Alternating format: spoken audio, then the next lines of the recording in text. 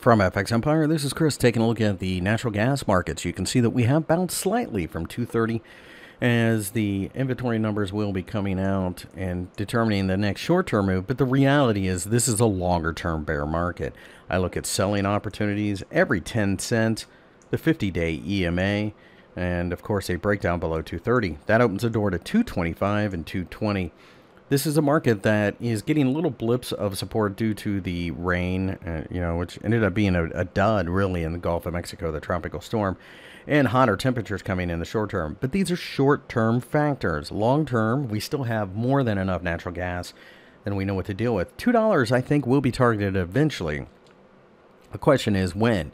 So look for rallies to fade on signs of exhaustion on short term time frames.